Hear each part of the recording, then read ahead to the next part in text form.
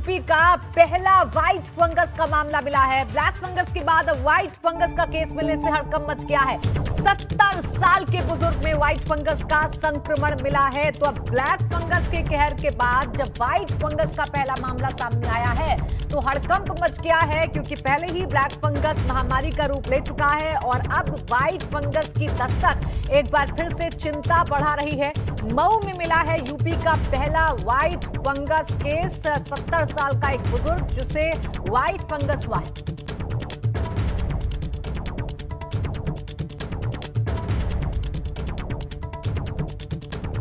तो आपको बता दें कि बुज़ुर्ग फ़िलहाल वाराणसी में एडमिट है। वाराणसी में इलाज चल रहा है। क्या कुछ अपडेट मिल रही है वहाँ से? सीधा रुख करेंगे मेरे सहयोगी। नीतीश मेरे साथ जुड़ गए वाराणसी से। नीतीश, क्या कुछ अपडेट है? कैसा स्वास्थ्य बुज़ुर्ग का? क्या जानकारी मिल पा रही है? ताकि अगर स्वास्थ्य की बात करें तो स्वास्थ्य पहले से बेहतर है। लगातार प्रयास किए जा रहे हैं कि इस बीमारी पर काबू पाया जा सके और बनारस के एक निजी अस्पताल में ये व्यक्ति भर्ती है और जिसमें जो व्यक्ति भर्ती हैं उनके वो कहा यह जा रहा है कि मऊ जनपद के निवासी हैं। और अब से पहले दिल्ली में कोरोना का इलाज करा के लौटे थे। हम्म। और अब व्हाइट फंगस की चपेट में आ गए हैं। तो बनारस में एक तरफ़ जहाँ पर ब्लैक फंगस की दहशत थी ब्लैक फंगस के अब तक बयालीस से ज़्यादा मरीज़ आ चुके थे। अब एक बार से कहें कि नया मामला व्हाइट फंगस का आ रहा है और बल्कि बनारस और पूर्वांचल नहीं उत्तर प्रदेश का पहला मामला ये बताया जा रहा है। डॉक्टर लगातार इस पर कर ये कहते नज़र आ रहे हैं कि इसको भी काबू किया जाएगा इसके लिए प्रयास किए जा रहे हैं। फ़िलहाल मरीज़ की हालत पहले से बेहतर तो नहीं कहेंगे स्थिर भी कह सकते हैं, लेकिन बड़ा मामला, बड़ा चैलेंज ये कि अब व्हाइट फंगस का जो प्रवेश है, वो यूपी में हो चुका है और बनारस में इसका मामला सामने आ चुका है। अब डॉक्टर देखते हैं कि अब डॉक्टर आगे क्या करते हैं इसे लेकर। ये देखने वाली बात होगी डॉक्टर क्षितिज इस पूरी बीमारी का इलाज कर रहे हैं। तो लंका क्षेत्र ये मरीज़ एडमिट है और लंका क्षेत्र से इसका इलाज किया जा रहा है। शुक्रिया आपका तमाम जानकारी के नीतीश। तो देखिए ब्लैक फंगस के बाद व्हाइट फंगस की दस्तक की व्हाइट फंगस भी उतना ही खतरनाक है जितना की ब्लैक फंगस सत्तर साल के बुज़ुर्ग, जो कि दिल्ली से कोरोना का इलाज करने के बाद लौटे हैं, इलाज करवाने के बाद लौटे हैं, मऊ के रहने वाले हैं। और इस वक्त हमारे साथ डॉक्टर क्षितिज जुड़ गए हैं, जो कि खुद बुज़ुर्ग का इलाज कर रहे हैं। स्वागत है डॉक्टर क्षितिज जी, आपका एबीपी गंगा पर। सवाल मेरा आपसे यह है कि कितना खतरनाक है व्हाइट फंगस और किस तरीके से इलाज किया जा रहा है बुज़ुर्ग का? जी ये कोई वैसे तो ये कोई ऐसी बीमारी नहीं है जो हमने पहली बार देखी है पहले भी कोविड एरा के पहले भी ऐसे ज़्यादा कदा ऐसे केसेस आते थे लेकिन कोविड एरा में चूँकि आईसीयू एडमिशन बहुत ज़्यादा बढ़ गए हैं इसलिए इसका रिस्क पहले की अपेक्षा थोड़ा ज़्यादा है हम्म। और जिन मरीजों में लंबे समय से स्टेरॉइड थेरेपी मिलती है और जिनके शुगर्स वगैरह अनकंट्रोल रहते हैं तो वो इसके रिस्क पे थोड़ा पहले की अपेक्षा अब ज़्यादा है हम्म। ये जो मरीज़ मेरे पास आए थे तो इनकी एक आँख में रोशनी पिछले एक हफ़्ते से कम हो रही थी लगातार। और जाँच करने पे ऐसा पिक्चर दिखाई दिया कि आँखों के अंदर इनके फंगस का इन्फेक्शन है तो इनकी सहमति से फिर हमने इनकी आँख से एक सैंपल लिया और जिसको जाँच के लैब में जाँच के लिए भेजा तो जिसमें वो माइक्रोस्कोपी और कल्चर दोनों में ही व्हाइट फंगस का इन्फेक्शन कंफर्म हुआ है हम्म। क्षेत्र जी देखिए मैं आपसे समझना चाहूँगी क्योंकि देखिए ब्लैक फंगस से वैसे ही पहले से ही लोग डरे हुए हैं। अब व्हाइट फंगस का पहला केस सामने आना क्या कुछ इसके सिम्टम्स होते हैं? कैसे लोग पहचाने? अगर उन्हें सिम्टम्स हो रहे हैं तो। देखिए अब इसका इसका कोई एक सिंगल सिम्टम नहीं है क्योंकि ये ब्लड के थ्रू अगर किसी किसी मरीजों में ब्लड के थ्रू अगर उतर जाए तो अलग अलग अंगों अंगों को प्रभावित कर सकता है। हम्म। जैसे कि फेफड़े हृदय आँख और इत्यादि। तो अगर जो मरीज़ इस बीमारी के लिए हाई रिस्क पे हैं उनको बस अपने डॉक्टर की सलाह डॉक्टर के रेगुलर फॉलोअप में रहना चाहिए। हम्म। और कोई भी अनयूजल सिम्टम होने पर डॉक्टर की सलाह लेनी चाहिए। हम्म। बहुत इससे डरने की ज़रूरत आम इंसान को इससे बहुत डरने की ज़रूरत नहीं है। हम्म। बहुत ही रेयर बीमारी। है जो आप अनयूजल सिम्टम की बात कर रहे हैं जरा उसे आप हमारे दर्शकों को समझा सकते हैं डॉक्टर अब जैसे कि कोई मरीज़ अगर बहुत लंबे समय तक आईसीयू में रहा है जिसको सेंट्रल लाइन से दवाएँ दी गई दवाएँ दी गई हैं तो ऐसे मरीज़ को हार्ट में इन्फेक्शन होने का खतरा है तो दिल की धड़कन चेंज होना घबराहट आना इस तरह के सिम्टम्स वगैरह हम्म। आने पर तुरंत डॉक्टर से संपर्क करना चाहिए। उसके अलावा जैसा केस मेरे पास आया है उनकी आँखों में अचानक से रोशनी पहले कभी भी ऐसा नहीं हुआ और अचानक से रोशनी कम होने लगी। तो ऐसी स्थिति में नजदीकी आई के स्पेशलिस्ट या रेटिना स्पेशलिस्ट को ज़रूर दिखाना चाहिए। व्हाइट फंगस की दस्तक जैसा कि आप बता रहे हैं कि ऐसा कोई घबराने वाली बात नहीं है पैनिक होने की ज़रूरत नहीं है डॉक्टर से कंसल्ट करें। वो मरीज़ जो कि अभी कोरोना से ठीक होकर आए हैं जो कि आईसीयू से निकल कर आए हैं उन्हें किन खास बातों का ध्यान रखने की ज़रूरत है डॉक्टर जी उनको अपना पहले तो अपना ब्लड शुगर लेवल्स वगैरह एकदम उनको करीबी से मॉनिटर करना है। अगर कोई भी दिक्कत हो रही है तो अपने डॉक्टर से सलाह कर कर या तो दवाओं की डोज बढ़ानी है या इंसुलिन पे शिफ्ट होना है।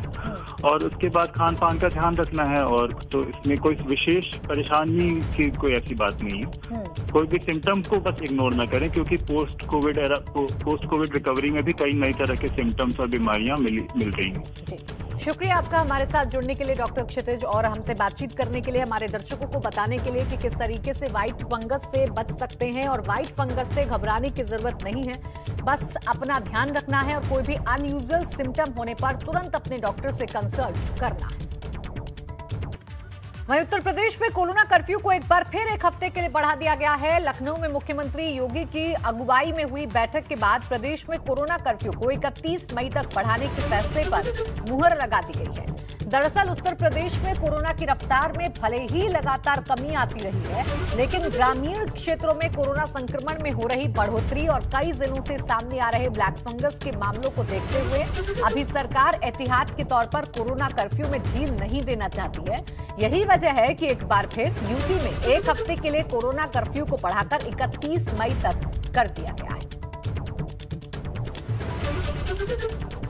देखिए 24 मई तक थी 24 मई की मियाद खत्म होने वाली थी दो दिन बाद, लेकिन उससे ठीक पहले टीम नाइन की बैठक हुई और ये फैसला लिया गया कि एक हफ़्ते के लिए और इस कोरोना कर्फ्यू को बढ़ाया जाएगा। यानी 31 मई सुबह सात बजे तक ये कोरोना कर्फ्यू अब लागू रहेगा। ये ज़रूरी इसलिए है क्योंकि अब शहरों के साथ ही साथ गाँव में भी इस संक्रमण ने दस्तक दे दी है। इस बीच राहत की बात यह है कि उत्तर प्रदेश में कोरोना के खिलाफ वैक्सीनेशन अभियान को तेज करने के लिए योगी सरकार ने वैक्सीन खरीद के लिए जो ग्लोबल टेंडर जारी किया था, उसकी मियाद को बढ़ाकर 31 मई तक कर दिया गया है। यानी अब 31 मई तक देसी और विदेशी कंपनियाँ टेंडर में शामिल हो पाएँगी। योगी सरकार ने प्रदेश में वैक्सीन की कमी को पूरा करने के लिए चार करोड़ वैक्सीन सप्लाई का ग्लोबल टेंडर निकाला था, जिसकी आखिरी तारीख 21 मई थी। लेकिन अब सरकार ने टेंडर का समय 10 दिन और बढ़ाकर 31 मई तक कर दिया है। इस टेंडर प्रक्रिया में अब तक पाँच कंपनियाँ Bharat biotech, Sputnik, doctor Reddy's laboratory, Cadila के अलावा एक दक्षिण कोरियाई कंपनी शामिल हो चुकी है। और चलिए अब आपको यूपी का कोरोना अपडेट भी दे देते हैं। अगर बात करें बीते 24 घंटे की तो प्रदेश में एक लाख से कम हो गई है कोविड के एक्टिव केस की संख्या। यूपी में बीते 24 घंटे में कुल छह हज़ार छियालीस नए केस सामने आए हैं जबकि 17,540 लोग डिस्चार्ज भी हुए हैं। प्रदेश में 24 घंटे में 226 कोविड पॉजिटिव की मौत हुई है। प्रदेश में अब तक कुल 18,978 कोविड पॉजिटिव की मौत हो चुकी है। ये टोटल आंकड़ा है कोविड से हुई मौतों का। प्रदेश में कोरोना के कुल एक्टिव मरीजों की संख्या है अब चौरानवे हज़ार चार सौ बयासी यानी एक लाख से कम हो गई है। लखनऊ में 24 घंटे में दो सौ इक्यानवे नए केस सामने आए हैं जबकि 870 डिस्चार्ज हुए हैं। लखनऊ में बात करें तो 24 घंटे में 21 कोरोना पॉजिटिव की मौत हुई है और लखनऊ में अब कुल एक्टिव केस की संख्या है छह हज़ार बत्तीस। देखिए, एक तरफ़ केस में कमी ज़रूर आ रही है और डिस्चार्ज होने वाले लोग ज़्यादा हैं। लेकिन अगर मौत का आंकड़ा देखें तो ये मौत का आंकड़ा कम होने का नाम नहीं ले रहा है, जो कहीं ना कहीं चिंता की बात है।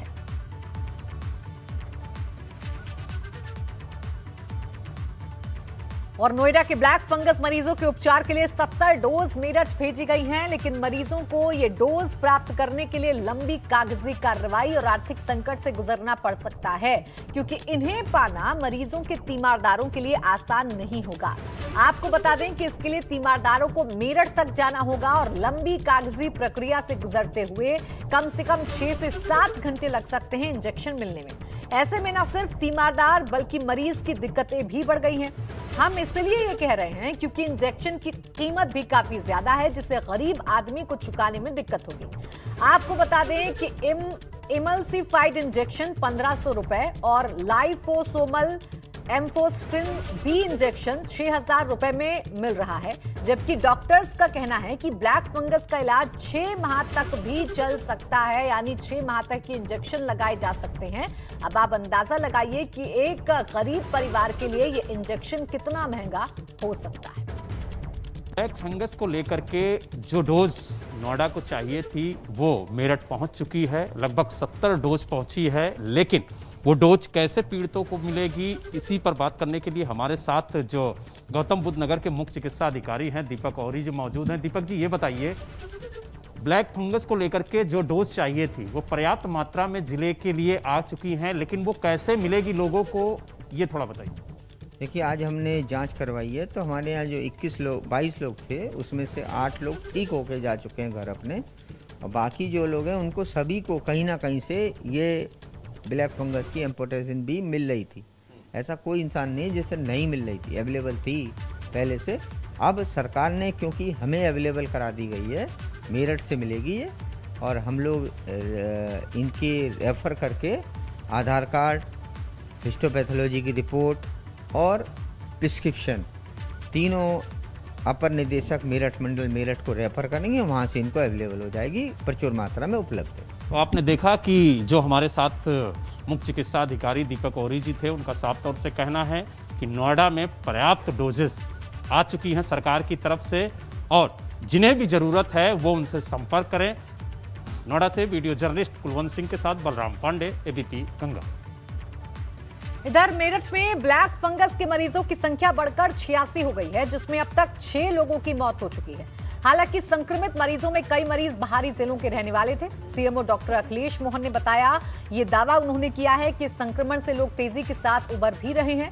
कई मरीज़ ऑपरेशन के बाद स्वस्थ होकर अपने घर वापस लौट चुके हैं। संक्रमण की मेडिसिन की कमी को लेकर सीएमओ ने बताया कि शुरुआती दौर में देश के हर हिस्से में मेडिसिन की कमी थी, लेकिन अब धीरे धीरे आपूर्ति सुचारू है।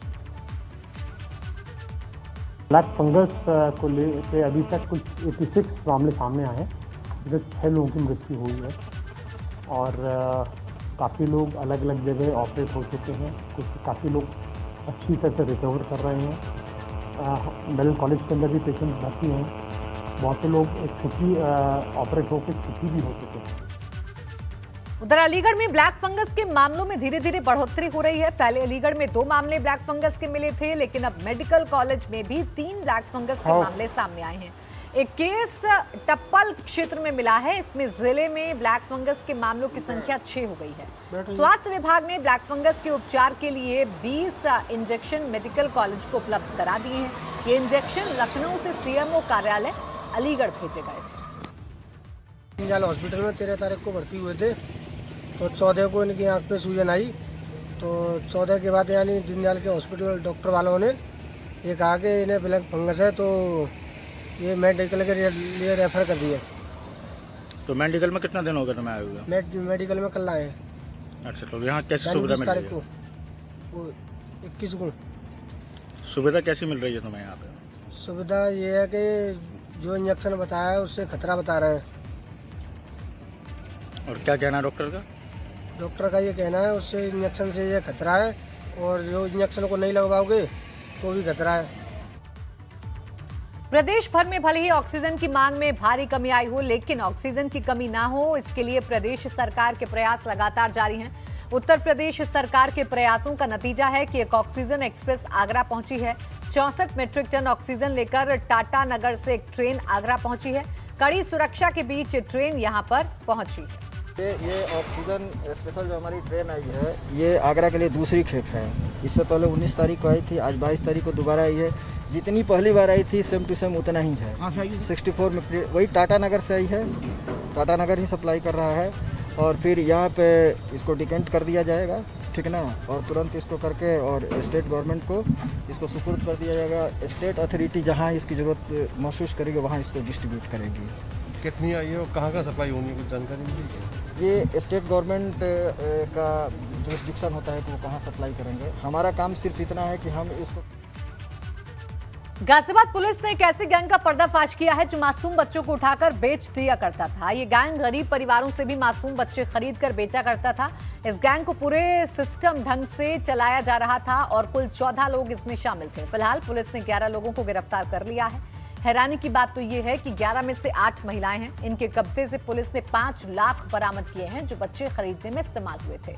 एसपी देहात ने बताया कि इस पूरे मामले के खुलासे के लिए कई टीम का गठन किया गया और सबसे पहले मसूरी के रहने वाले वाहिद नाम के एक शख्स का नाम सामने आया। उसके बाद पूरी कड़ी खुलती चली गई। इसमें एक झोला छाप महिला डॉक्टर भी शामिल रही, जो वाहिद के साथ मिलकर अन्य इलाकों में ऐसे गरीब लोगों से संपर्क कर उनके बच्चे बेचे जाने के लिए बिचौलिए का काम करती थी।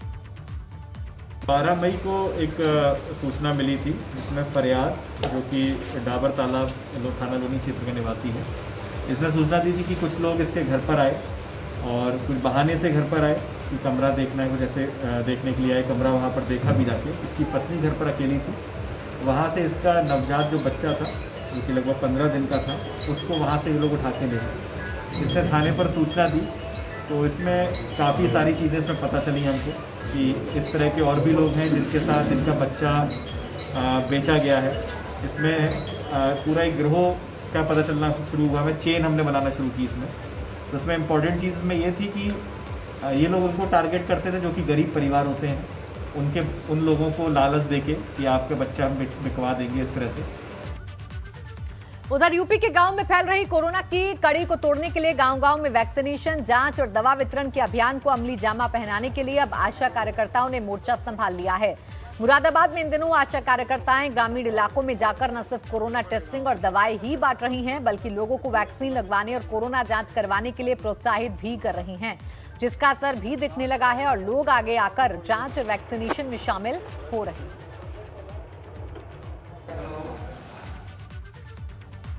प्रदेश सरकार कोरोना की जंग को जीतने के लिए युद्ध स्तर पर कई तरह के अभियान चला रही है। योगी सरकार का लक्ष्य है कि ज़्यादा से ज़्यादा लोगों को कोरोना की वैक्सीन लगाई जाए, जिसके लिए बड़े पैमाने पर अभियान शुरू कर दिया गया है। लेकिन कुछ जिम्मेदार अधिकारियों की उदासीनता की वजह से सरकार की इस मंशा पर पलीता लगता हुआ नज़र आ रहा है। बस्ती के साउघाट ब्लॉक के जमदाशाही गाँव में एक वैक्सीनेशन सेंटर बनाया गया है ताकि आसपास के गाँव के लोगों का आसानी से वैक्सीनेशन हो सके। सरकार की वैक्सीनेशन अभियान की हवा यहाँ पर पिछले एक महीने से निकली हुई है। इस गाँव के लोगों का कहना है कि पिछले महीने उन्होंने कोरोना की वैक्सीन की पहली डोज तो लगवा ली, लेकिन अब जब दूसरी डोज लगवाने के लिए वो लोग इस सेंटर पर पहुँचे तो यहाँ पर ताला लगा हुआ है। अब ऐसे में ग्रामीण वैक्सीन लगवाने के लिए भटक रहे हैं। लगाने के लिए मगर कोई आता ही नहीं है। एक महीना हो गया, अभी तक किसी को लगी ही नहीं है। तो यहाँ तब जब से बना हुआ है सेंटर वैक्सीनेशन का तब से क्या कभी लगा कि नहीं लगा? लगा एक महीना पहले। हाँ। एक बार हुआ है। कब हुआ? था कितने तारीख? मतलब तेरह तारीख को महीना पूरा हुआ है। वही बोले हाँ रमज़ान के रमज़ान के टाइम पे लगा है मेरे रमज़ान के टाइम पे लगा है। तो कब आपका फिर नेक्स्ट नेक्स्ट को? तेरह तारीख को बताए थे आना फिर लगेगा। तेरह तारीख को आए थे हाँ, हाँ लेकिन आदमी तीन थे इसलिए क्या नाम है बोले दस आदमी कम से कम ग्रुप होना चाहिए तब इंजेक्शन खुला लगेगा हाँ एक महीना पहले लगती थी अभी नहीं। अब नहीं लगता? नहीं। तो लोग कैसे वैक्सीनेशन यहाँ करा रहे हैं जब यहाँ आते हैं लोग चले जाते हैं नहीं लगती है। वैक्सीन नहीं लगती। उत्तराखंड में कोरोना के मामलों में काफ़ी कमी देखी जा रही है। पिछले 24 घंटे के भीतर कोरोना के 2903 नए मामले सामने आए हैं, जबकि कोरोना से चौंसठ लोगों की मौत हुई है। पिछले 24 घंटे में आठ मरीज़ अस्पताल से डिस्चार्ज हुए हैं।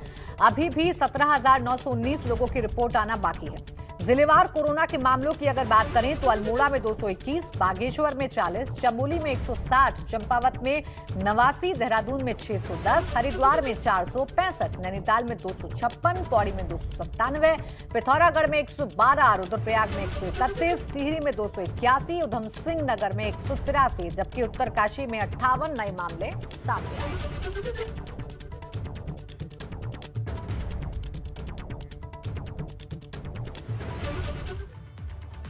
उत्तराखंड में ब्लैक फंगस के बढ़ते मामलों को देखते हुए सरकार ने इसे महामारी घोषित कर दिया है। प्रदेश सरकार की तरफ़ से इसके आदेश जारी कर दिए गए हैं। स्वास्थ्य सचिव पंकज कुमार की तरफ़ से आदेश जारी हुआ है। दरअसल उत्तराखंड में ब्लैक फंगस के केस लगातार सामने आ रहे हैं। मामले बढ़ रहे हैं, लेकिन प्रदेश में ब्लैक फंगस के इंजेक्शन की कमी है।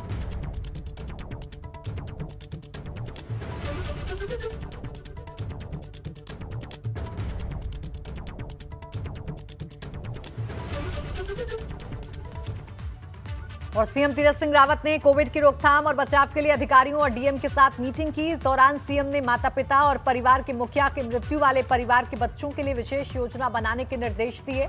सीएम के निर्देश हैं कि ऐसे बच्चों का चिन्हीकरण कर उन्हें जल्द से जल्द मदद मुहैया कराई जाए। कोविड की तीसरी लहर के लिए तैयारियों को जल्द धरातल पर लागू किया जाए। सीएम ने कहा कि वर्तमान में कोविड के मामलों में कमी देखने को मिल रही है। फिर भी हमें पूरी तरह से सावधान रहना है। तीसरी लहर में बच्चों पर फोकस करना, जिला और ब्लॉक स्तर पर इसकी मैपिंग हो। फ़ील्ड में काम करने वालों को मालूम होना चाहिए कि किस तरह की परिस्थिति में उन्हें क्या करना है। कोविड की तीसरी लहर से पहले सारी तैयारियाँ पुख्ता कर ली जाएँ। इसमें किसी तरह की कोई कमी ना हो। जिलाधिकारी हर गाँव गाँव स्तर पर इसकी तैयारी कर रहे जहाँ तक संभव हो, दूरस्थ क्षेत्रों के लिए mobile testing van, mobile lab sampling van की व्यवस्था हो। गाँव गाँव घर घर तक ज़रूरी मेडिकल किट और दवाओं की उपलब्धता हो। गाँव में क्वारंटीन सेंटर चिन्हित कर उन्हें ज़रूरी सुविधाओं से युक्त किया जाए।